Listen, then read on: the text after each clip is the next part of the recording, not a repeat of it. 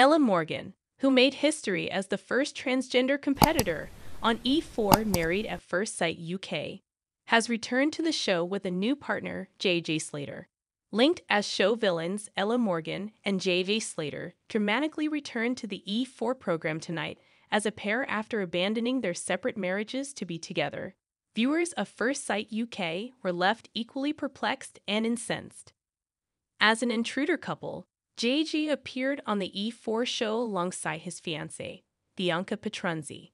Despite being matched with other people, JJ and Ella have created a stir on the show after realizing they had love feelings for one another.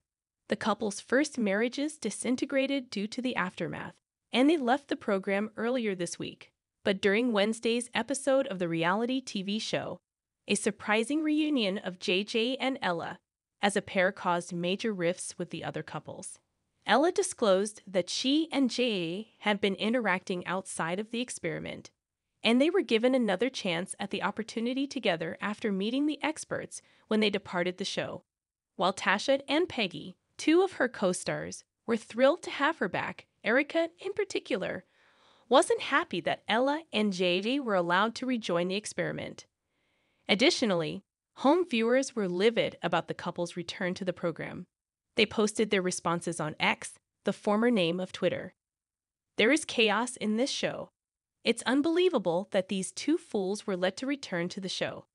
It disproves the series' entire concept and goal. I'm so over this, yelled one. I'm furious that MAFS UK allowed Ella and Jay to return. What the heck is going on?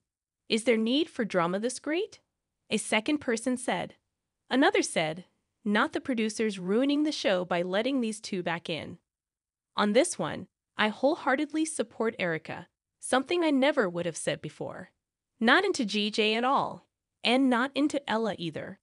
After this, I feel like turning off this show said another E4 watcher.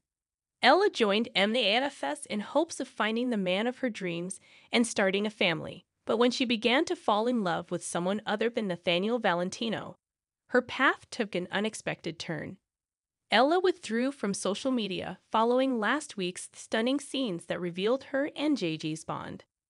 She posted to her Instagram stories last week saying, I'm going to be taking a break from my socials as it's hard seeing slash reading the constant abuse I've received recently, especially the transphobic abuse. By condemning me with hate messages isn't always the right answer, and two wrongs don't make a right.